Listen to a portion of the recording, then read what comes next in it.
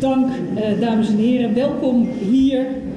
Uh, goedenavond. En uh, voor degene die ik nog niet de hand geschud heb, een heel gelukkig, gezond en vrolijk nieuwjaar. De jaren 20 van de vorige eeuw hebben als bijnaam de Roaring Twenties gekregen. Na de Eerste Wereldoorlog zijn de Verenigde Staten een wereldmacht geworden. Is in Rusland de revolutie van 1917 net achter de rug, zucht Duitsland onder de herstelbetalingen zoals bepaald bij de Vrede van Versailles en heerst in Frankrijk en Engeland een optimistische geest. Die grote welvaart werd ondersteund door geleend geld. Geld wat dus ooit terugbetaald moest worden. En zoals bekend barstte de bubbel in 1929 als gevolg van het slechter wordende vertrouwen van de consument, de overschotten door overproductie en de Amerikaanse landbouwcrisis. Banken werden hierdoor kwetsbaar, aandeelhouders dumpten hun aandelen en wereldwijd was sprake van een crisis met grote werkloosheid en armoede als gevolg. De vraag is, staan we bij de start van onze jaren 20 voor eenzelfde scenario? Sommige elementen uit de vorige eeuw zijn herkenbaar. Het isolationisme van Trumps Verenigde Staten van Amerika, een groeiende economie, maar een consumentenoordeel over het economisch klimaat dat iets verslechtert, is bij een onveranderde koopbereidheid. Maar daarentegen zijn de Verenigde Staten niet meer de enige supermacht. China is niet te, negeren en verstevigt haar positie. Rusland en ook India spelen een prominente rol. En de situatie in het Midden-Oosten is wezenlijk anders, met een op dit moment zeker risico van escalatie. Naast economische ontwikkelingen, de mondiale verhoudingen en migratie, is de te voeren discussie in de komende jaren 20 die over klimaat, stikstof en milieu, waarbij de balans gezocht moet worden tussen economische groei, welvaart en welzijn. Het probleem ontkennen heeft geen zin. Stikstof is niet, zoals sommige politici willen doen geloven, een natuurlijk groeimiddel voor planten en dus biologisch verantwoord. In natuurgebieden wordt bij een verhoogd stikstofgehalte de voedselrijkdom weliswaar verhoogd, wat bijdraagt tenslotte aan de bodemverzuring. En hierdoor neemt de biodiversiteit af en verzwakt de vogelstand en andere fauna. Bovendien leiden de stikstofoxiden in de atmosfeer tot de vorming van fijnstof en smog, waardoor het schadelijk is voor de gezondheid. Niets doen is geen optie. Verantwoord iets doen wel degelijk. Dames en heren, vrij naar het boek van Paul Schnabel. Met ons, de wereld, gaat het niet zo best. Met mij, Voorschoten, een stuk beter. 2019 was voor Voorschoten geen verkeerd jaar. Financieel beginnen we anno 2020 de boel weer aardig op de rit te krijgen en starten we met een sluitende begroting. De plannen op papier voor woningbouw worden concreet.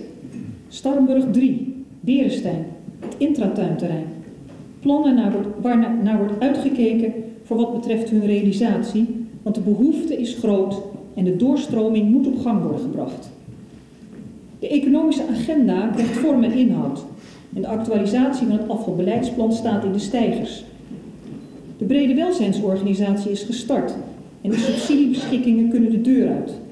Het zwembad kan open blijven, maar over andere accommodaties moeten besluiten worden genomen en wordt gestreefd naar slimme combinaties tussen woningbouw en maatschappelijke functies. We zijn een fairtrade gemeente, wat betekent dat we voor onszelf en anderen de lat hoog leggen op het gebied van maatschappelijke verantwoordelijkheid. We zijn als voorschoten gehecht aan onze zelfstandigheid en willen die ook behouden. Het feit dat andere overheden ons in dit gevoel erkennen, werd op 16 oktober bevestigd met mijn kroonbenoeming. Die zelfstandigheid moet niet leiden tot zelfgenoegzaamheid en een naar binnen gerichte houding. We hebben onze omgeving keihard nodig om doelstellingen te halen. Onze opgave in het sociaal domein, de jeugdzorg, de energietransitie, onze bereikbaarheid en die van anderen, onze regionale en lokale economische agenda. We kunnen dit niet alleen als voorschotense politiek van de kant roeien. Daar hebben we regionale en zelfs nationale verbondenheid voor nodig. Burgemeester Femke Halsema verwoordde het in haar nieuwjaarspeech refererend aan het republiekgevoel van Amsterdam. We hebben een pact met onze omgeving nodig, al dus haar bewoordingen.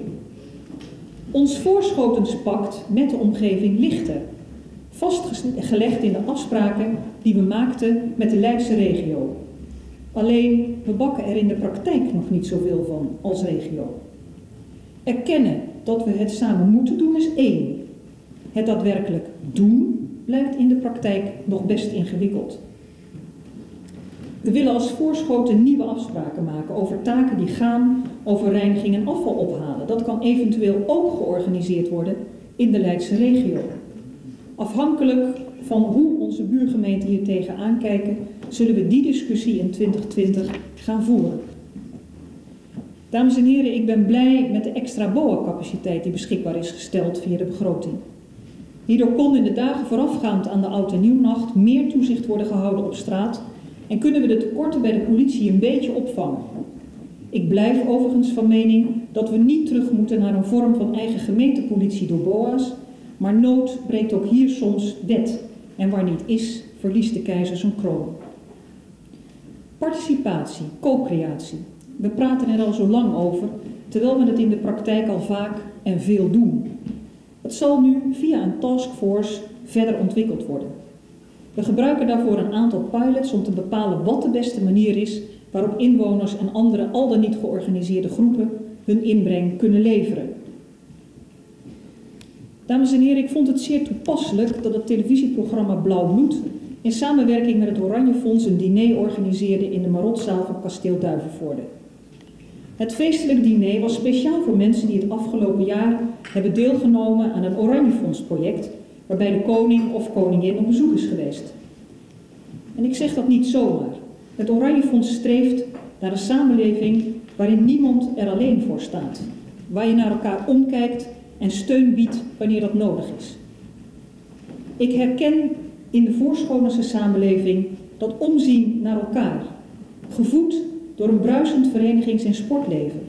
Een cultuurfabriek die op cultureel gebied haar krachten heeft gebundeld en onze culturele waarden koestert en promoot.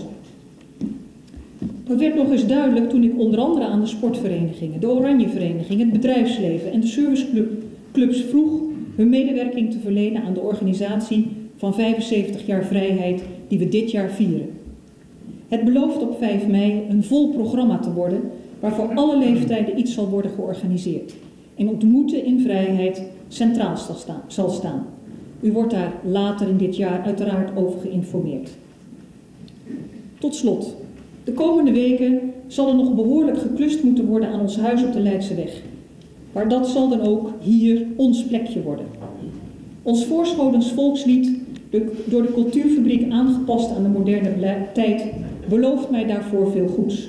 Want in dit oord der lage landen voelt er ieder zich snel thuis met zijn eeuwenoude panden, het ambachtshuis en het ambachts- en baljuwhuis, waar de voorstraat en zijn linden aan de paardenmarkt een forum biedt, waar de mensen zich verbinden rond de parel aan de vliet. Dames en heren, de jaren twintig van deze eeuw zijn begonnen. Of het ook opnieuw de Roaring Twenties worden, zal de komende jaren duidelijk worden.